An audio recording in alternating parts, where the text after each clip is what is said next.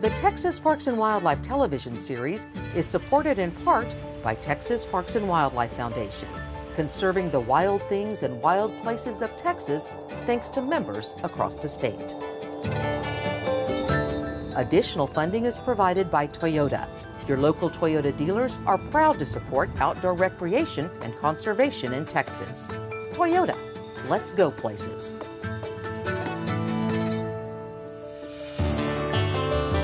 Coming up on Texas Parks and Wildlife. You have to work for something like this. You can't just walk out your front door and see this. Just figuring out what oyster farming would look like in Texas, and that's actually a way more complicated question than it sounds. I try to generate an image that somehow captures the feeling of the place.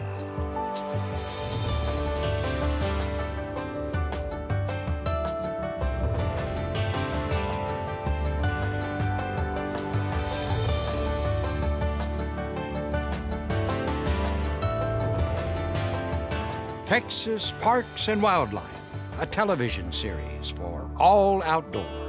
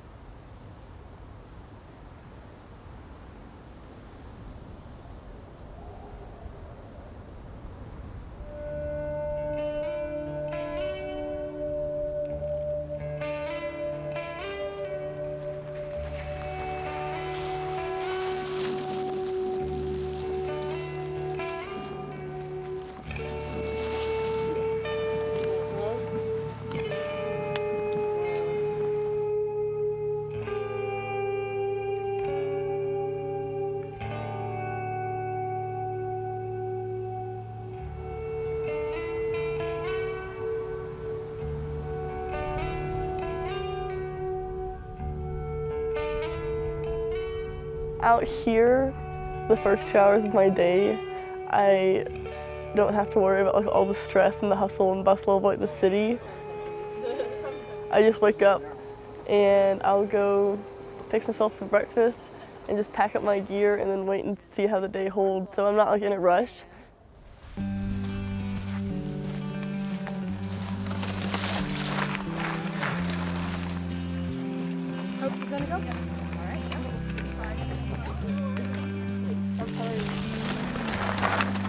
Bikepacking is absolutely the perfect speed to experience nature because you're going slow enough to where you can enjoy everything around you. You can look up and look at the mountains and the vistas, but you can look down right in front of your tire and look at the rocks, or you can look at the cacti and every, you know, little animals that are scurrying by. So you, you have the opportunity to like experience all of that. So I just found a fossil. Um, I was just biking along right back there and I looked down um, and it was right to the left of my tire. I like really love learning natural history of places so this is cool because like all this used to be underwater. So I get excited when I find stuff like this because it's like, you know, relics of that different time period when Big Bend looked a lot different than it does now.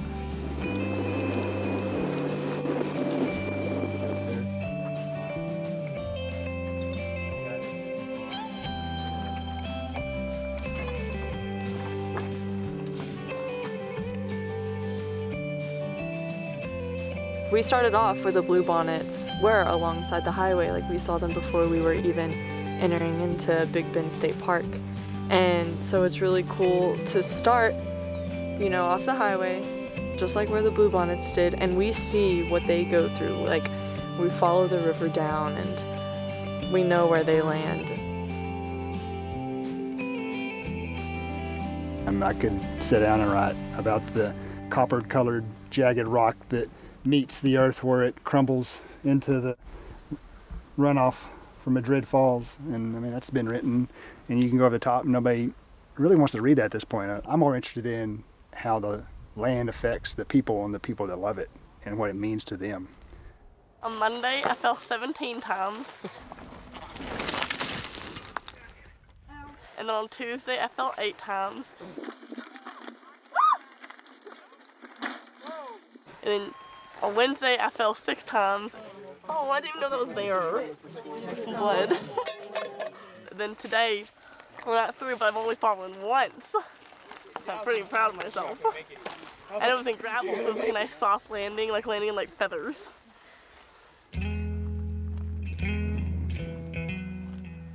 A year from now, I think I definitely will remember the friendships I've made here. It's just crazy, like, how much fun this whole group is. Also, this is super hard. Third time's the charm! It was like, it's like, here's the trail, here's Cody. It's like,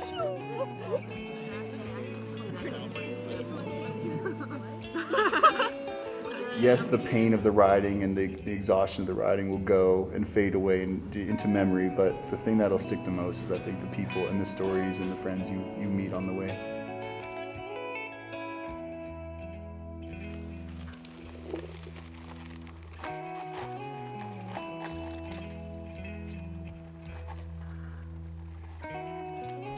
This morning we were all the way over there on the other side of that mountain right there. We've gone a little over 20 of the worst miles that we've done the whole trip. Sick nasty. Sick nasty, bro. But man, it's a lot of fun. And this view right here is just, this is the best one that I've had so far. I'm tearing up right now. It's just huge and like, oh, this is awesome.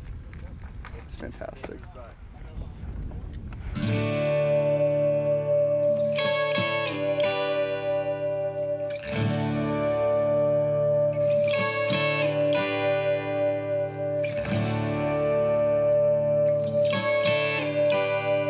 When I look out into this, that's when I kind of realize like this is what we've been given and this is something that you have to go out and seek like you have to work for something like this. You can't you can't just walk out your front door and see this.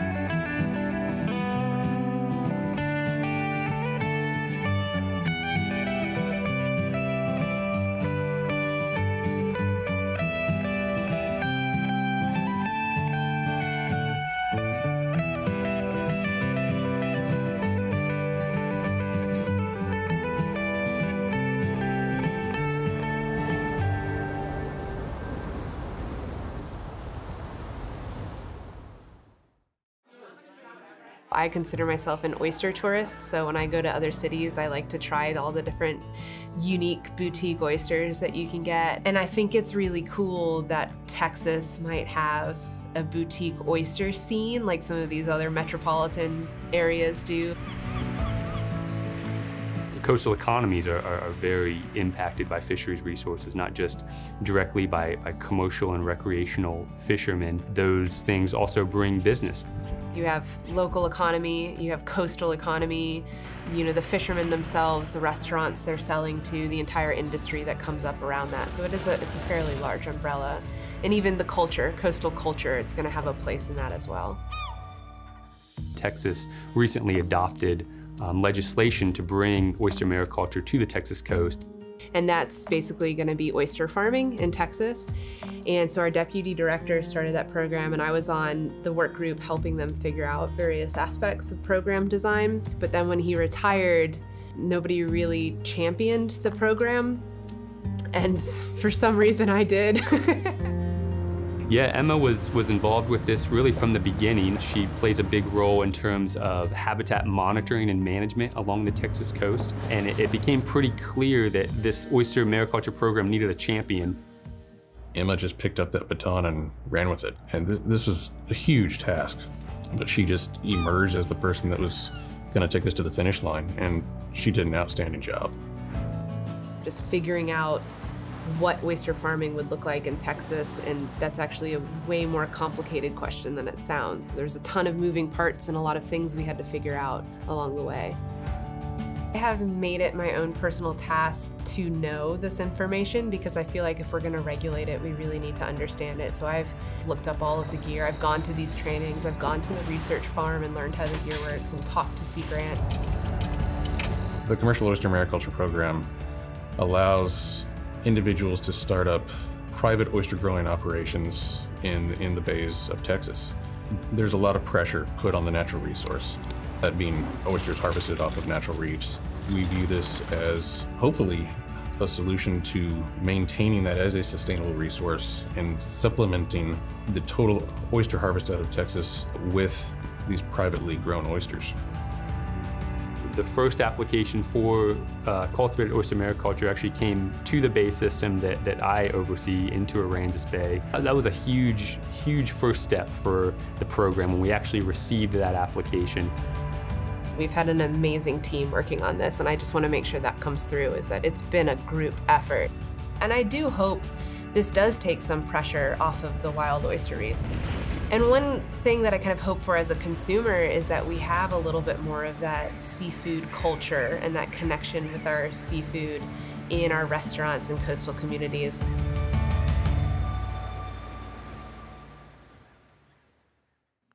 My first love of photography is probably wildlife. You know, when I was a young photographer, that's really what I concentrated on was shooting, shooting pictures of wildlife.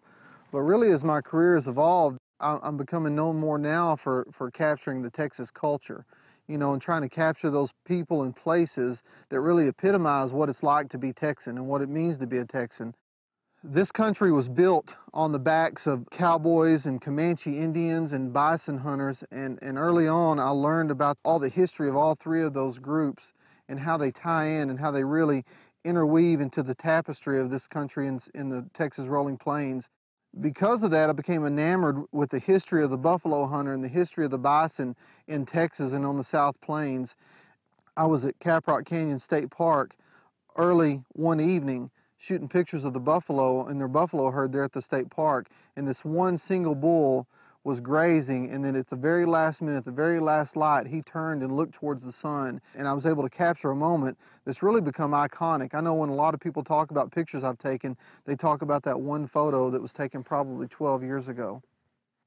When people ask me the secret to taking a great photograph, I tell them there's really not a secret at all. it's really about if you can, you can think of anything that you want to be. You, say, I want to be good at blank. And if it's basketball or if it's baseball or if it's making quilts or if it's photography, it all boils down to doing a few key things right every time and understanding the elements within that discipline so your results become predictable. Like in photography, I, I, tell people a couple of things they need to think about all the time. They need to think about light first and foremost, whether it's natural light with the sun or artificial light if you're introducing some strobes uh, composition is a, is a key component of it in my mind.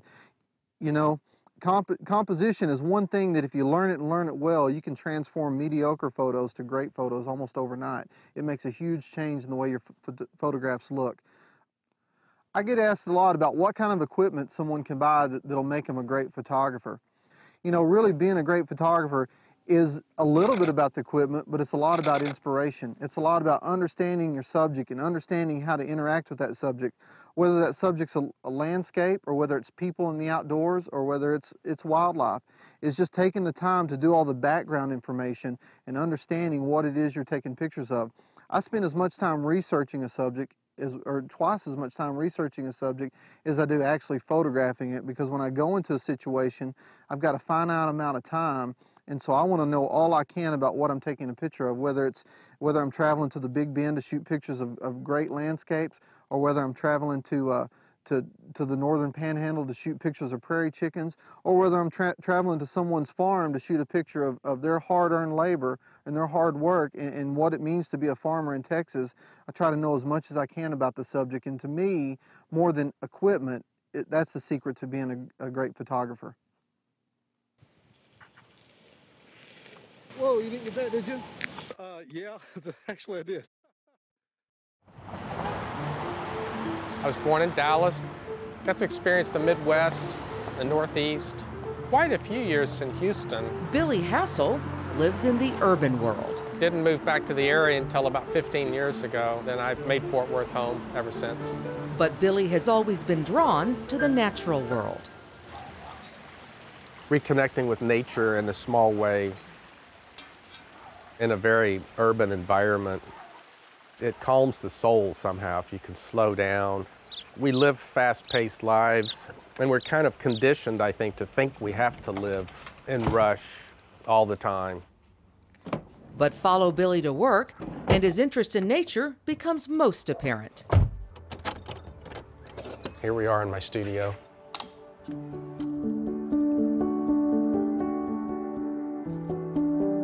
I'm a full-time artist. My work has always been inspired by nature. I grew up in a time when there were still some open spaces and creeks, and I got to experience a little bit of nature, even though I grew up in a pretty urban environment. I guess my love of nature was born from those experiences, and I've been kind of searching for that throughout the rest of my life. I've been seeking out opportunities to be out in nature and find places to inspire my work.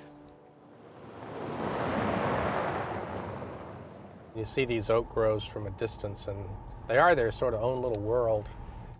In early fall, a new project finds Billy seeking natural inspiration along the coast.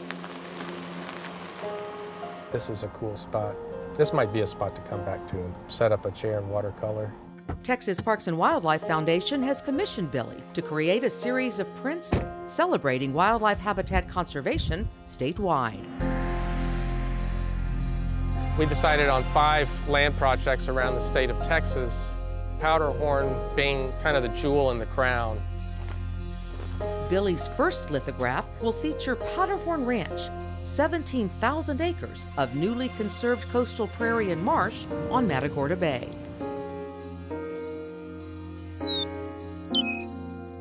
It's very heartening to me to see large areas of land like this preserved for the future.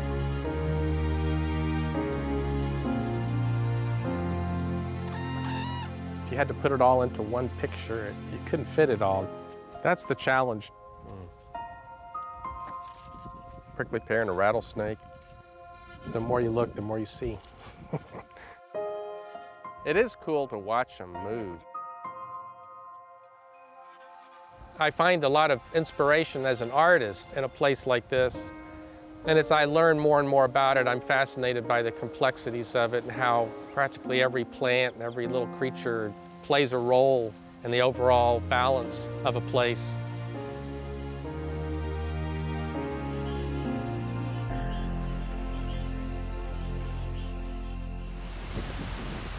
If I sit down to do a watercolor, I have to sit the chair down, find a spot, commit myself to at least an hour, an hour and a half of time.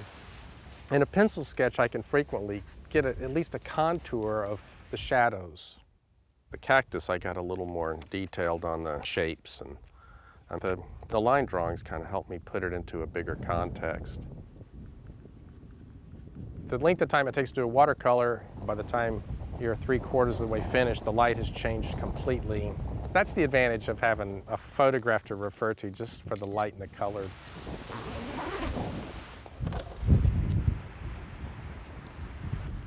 For years, I didn't even own a camera. If I take a picture, I let the camera be the memory, and if I draw it, I think I have to remember it in my head. There's something about the process of visualizing something and processing what you're seeing that burns a more indelible memory.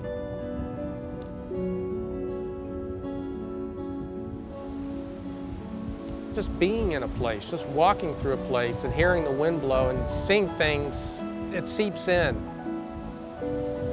I try to generate an image that somehow captures the feeling of the place.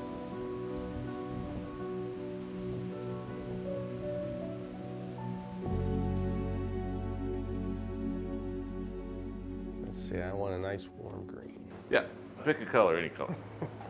One month after his field visit, Billy has an image for his print. So I'm here at Peter Webb's shop in Austin, where we're turning my drawings into a color lithograph. With his printer, Billy builds the image one color at a time.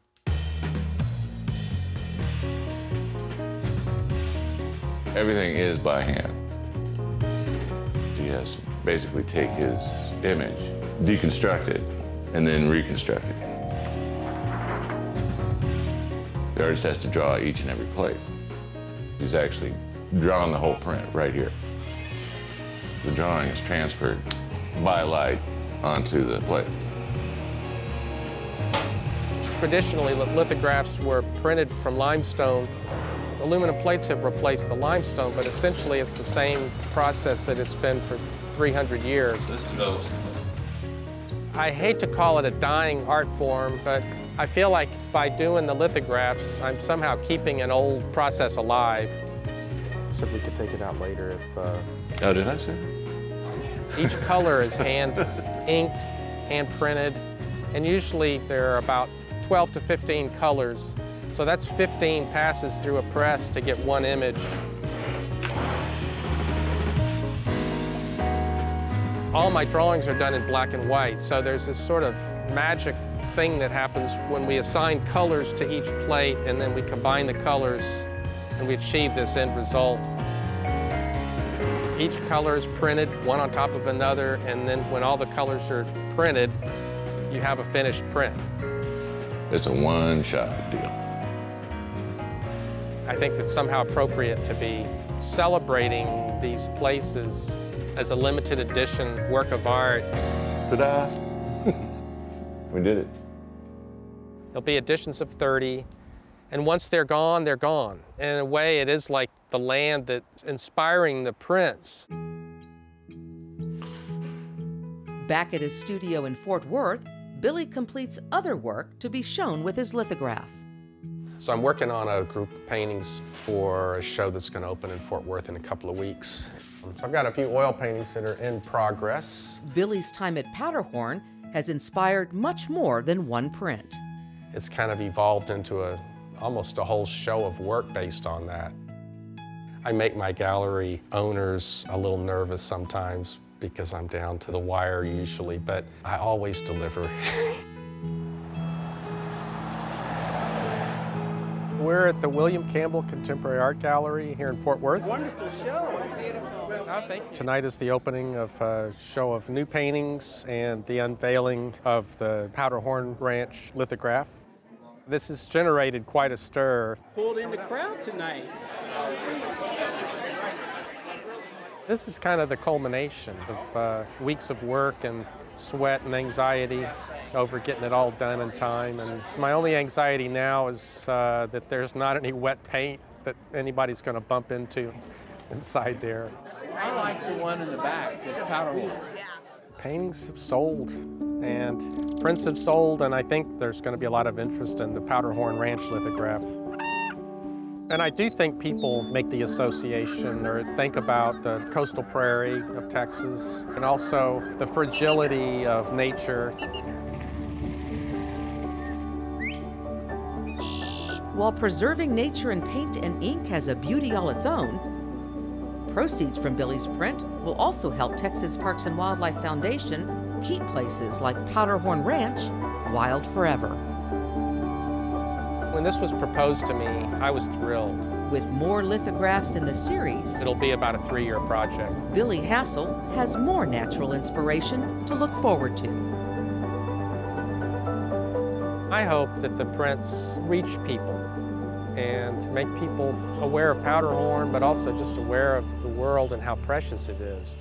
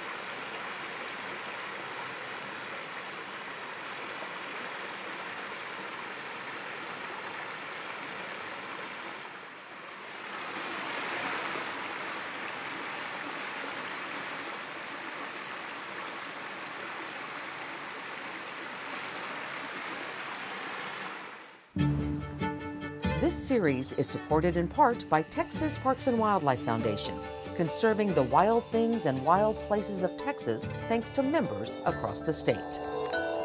Additional funding is provided by Toyota. Your local Toyota dealers are proud to support outdoor recreation and conservation in Texas. Toyota, let's go places.